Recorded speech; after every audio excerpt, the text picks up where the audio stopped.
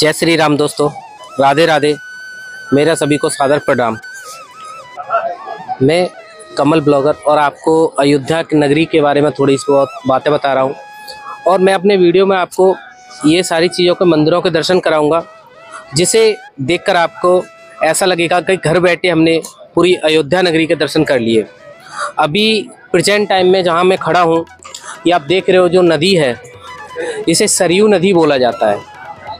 तो यहाँ से ही मैंने अपने ब्लॉग को स्टार्ट किया, श्री राम का नाम लेकर।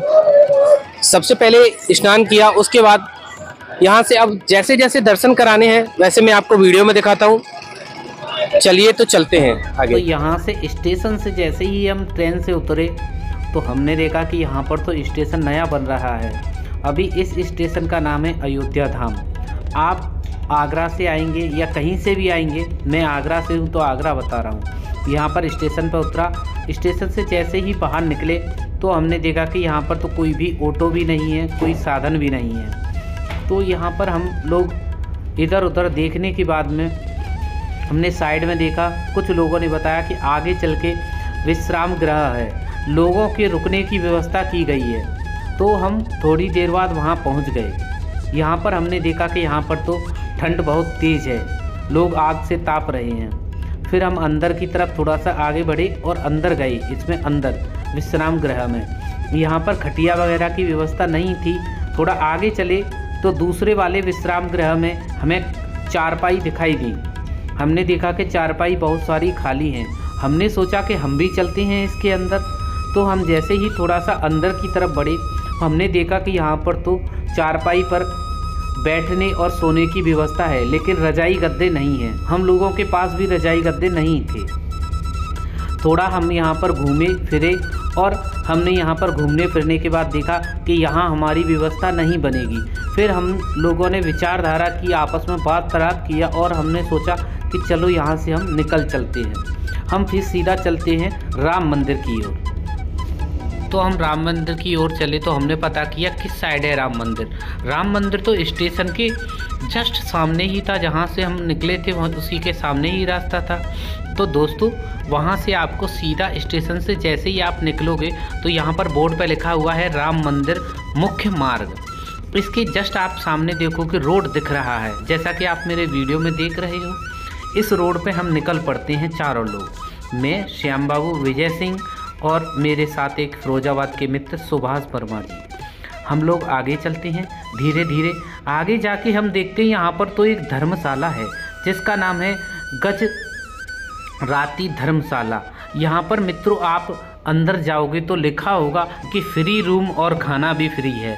लेकिन इसे पढ़ने के बाद में आप खुश मत होना, इसमें कुछ भी फ्री नहीं है। यहाँ पर हर चीज़ का चार्ज लगता है, रूम का भी चार्ज है और खाने का भी चार्ज है। सिर्फ़ फ्री है तो नहाना और धोना। यहाँ पर आप नहा सकते हो, मुँह धुल सकते हो। बाकी का कुछ भी फ्री नहीं है दोस्तों। हमने यहाँ पर घूमा और देखा, यहाँ पर बहुत ही अच्छे से भजन कीर्तन हो रहा था। भगवान की साधना में आप देख रहे हो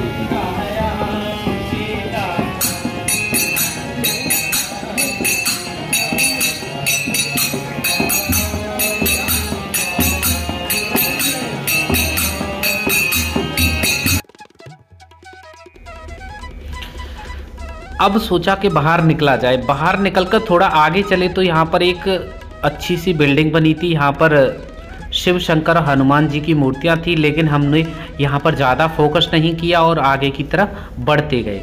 हम स्टेशन से लगभग 500 मीटर की दूरी पर आ ही गए थे तो मार्केट ख़त्म होने वाला था यहाँ पर। मार्केट ख़त्म होने के बाद में हमने साइड में सामने जस्ट सामने देखा कि यहाँ पर रोड है। राइट के लिए रास्ता क्या है और लेफ़्ट के लिए, सीधा हाथ और डेरा हाथ। तो हम जैसे ही आए तो आपको जो मैं दिख रहा हूँ सामने, उंगली कर रहा हूँ सामने स्वास्थ्य केंद्र है, इस तरफ़ राम मंदिर है और इस तरफ़ तो सीधा रास्ता चला जाता है। मुझे नहीं पता कहाँ के लिए। हम सीधा राम मंदिर की ओर बढ़े। यहाँ पर पुलिस वाले बहुत खड़े हुए थे, बैरियर लगे हुए थे, इनको हमने क्रॉस किया और सीधा आगे की तरफ़ चल दिए। यहाँ पर हमने देखा कि यहाँ पर तो बहुत सारी भीड़ है। और यहाँ पर भीड़ भंडारे की थी। हमने सोचा कि राम मंदिर है। नहीं, लेकिन यहाँ पर भंडारा लगा हुआ था दोस्तों। तो हमने सोचा, चलो यहाँ पर गर्मा गर्म चाय पी ली जाए। तो हम सभी दोस्तों ने मिलकर यहाँ पर पहले तो चाय पी, क्योंकि सुबह का टाइम था, ठंड बहुत तेज़ थी। जैसे ही चाय पीने के बाद यहाँ से हम थोड़ा सा आगे बढ़े तो और चाय पीने के बाद आगे बढ़े तो यहाँ पर राम मंदिर का द्वार दिखाई दिया। लेकिन हमने सोचा कि कैमरे को थोड़ा आगे बढ़ाया जाए। इस तरफ़ देखा तो लाडली मंदिर है राम मंदिर के गेट के सामने और जस्ट सामने ही राम मंदिर द्वार बना हुआ है। ये देखिए कितना सुंदर द्वार बना हुआ है दोस्तों।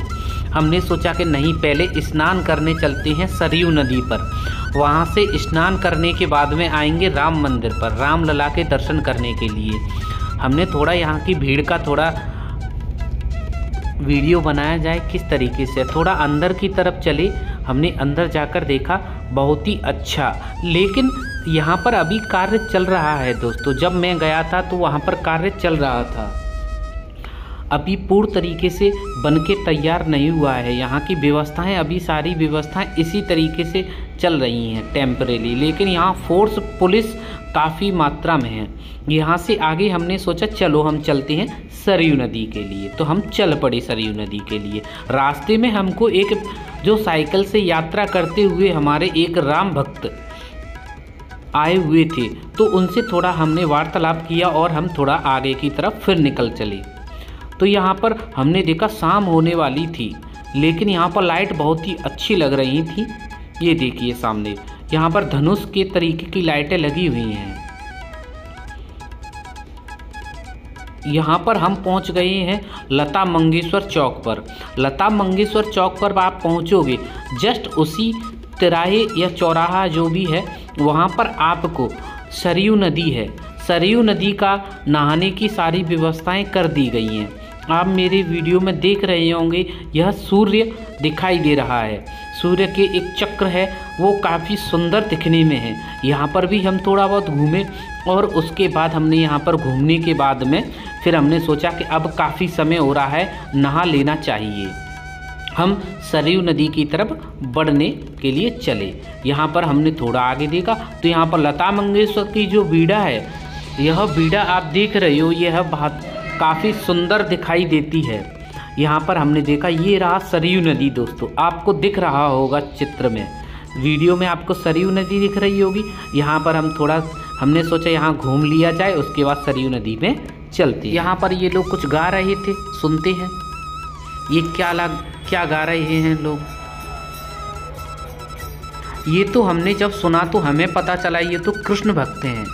और यहाँ पर राम नगरी में आए हुए हैं। अयोध्या में। फिर यहाँ पर हमने चारों तरफ़ घूमा और फिर हमने, मैंने अपने दोस्तों से कहा, चलिए, शाम हो रही है, जल्दी से नहा लिया जाए। सरयू नदी के आपको दर्शन कराने के लिए चलते हैं दोस्तों, जल्दी जल्दी। जब तक एक और क्लिप इनके भजन की सुना देता हूँ मैं आपको। के बारे में कितनी श्रद्धा है यहाँ पर लोगों की और काफ़ी अच्छा भीड़ है हम यहाँ पर हम थोड़ा सुबह से जा रहे थे निकल के तो आगे चल के हमने देखा कि हमें तो हनुमान जी के साक्षात दर्शन हो गए हैं दोस्तों। आप देखिए सामने। ये लो बानर जी। बानर हनुमान जी की मूर्ति ही सिर्फ़ रूप है उनका। लंगूर जिसे बोलते हैं। मैंने पूछा इस बच्चे से कि ये काट तो नहीं लेगा? इसने कहा नहीं काटेगा नहीं। यहाँ पर बंदरों को भगाने के लिए ही यहाँ पर रखा गया है।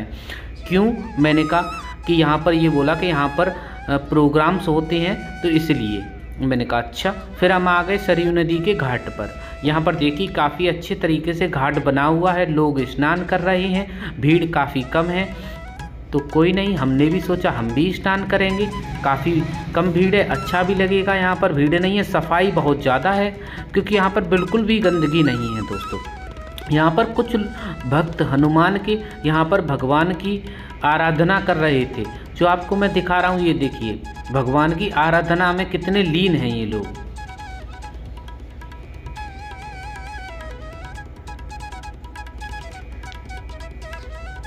अब हमने सोचा यहाँ से चल दिया जाए। तो हम आगे की तरफ़ में बढ़ा। ओहो भाई, बैराज के पानी निकल रहा था, काफ़ी तेज़ पानी निकल रहा था। मैंने हल्का सा हाथ अंदर डाला पानी में। ओ बाई बाई इतना ठंडा पानी। काफ़ी तेज़ ठंडा पानी था। जैसे कि आप कभी हरिद्वार गए हों तो गंगा जी का पानी होता है। सेम वही गंगा जी का पानी था। देखिए, लोग नहा रहे हैं और मैंने भी अपने कपड़े उतारे और जल्दी जल्दी मैं भी नहाने के लिए गंगा जी के पानी में कूद गया। और नहाने के बाद सभी लोग हम फ्री हुए और फिर यहाँ से चल दिए। जैसे ही चले तो दीवार पे यहाँ पर पूरी रामायण थी। यहाँ पर एक दीवार पर रामायण के काफ़ी चित्र थे। ये देखिए। आगे की तरफ़ बढ़ते गए और आपको अभी हम सीधे चलते हैं हनुमानगढ़ी, जहाँ पर दर्शन करने पर बताया जाता है कि हनुमान जी के दर्शन करना कुछ ज़रूरी है। आप रामलला के दर्शन करें तो सबसे पहले आप हनुमान जी के दर्शन करें, उसके बाद में रामलला के दर्शन करें। तो आगे की तरफ़ हम बढ़ते हुए चले गए। यहाँ पर कुछ फ़ोटो वोटो भी लिए। यहाँ पर एक साइकिल वाले भैया और मिल गए जो राम भक्त हैं। तो थोड़ा बहुत इनसे भी हमने वार्तालाप किया। ये काफ़ी दूर से चल के आए थे, हज़ार किलोमीटर से। तो इनसे मिलने के बाद फिर हम आगे चले हनुमान जी के दर्शन करने के लिए। यहाँ पर तो देखा कि काफ़ी लंबी लाइन लगी हुई है भाई। करीब करीब आधा किलोमीटर दूर 500 मीटर लंबी लाइन है और शायद ज़्यादा ही लंबी होगी। हमने तो सोचा हमारा तो आ गया नंबर। भाई निकल लो यहाँ से अभी तो। फिर हम लोगों ने भीड़ और वहाँ से निकलने के बाद हम लोगों ने कहा कि चलो राम भक्त, राम जी के ही दर्शन करते हैं। तो हम सभी लोग राम जी के दर्शन करने के लिए निकल पड़े और राम जी के दर्शन हमें शाम को हुए थे। तो यहाँ पर आप जी जो रास्ता देख रहे हो ना, ये अंदर जाने का रास्ता है। जैसे जैसे बढ़ते गए, ये शायद वीआईपी लोगों के लिए जाने का रास्ता था जो कि बाँस बल्लियों से कपड़ों से बना दिया था। लेकिन हम लोगों के लिए तो सब बगल से रास्ता गया हुआ था। हम लोग आगे चलते गए, ये मुझे रास्ते में एक धूप बत्ती दिखी। इससे काफ़ी अच्छी सुगंध आ रही थी। ऐसे ही आगे बढ़ते गए बढ़ते गए बढ़ते गए और आगे चल कर जो नज़ारा मैंने देखा ना भाई, मज़ा आ गया वहाँ पर तो मिलकर। चलिए चलते हैं जल्दी जल्दी चलता हूँ मैं।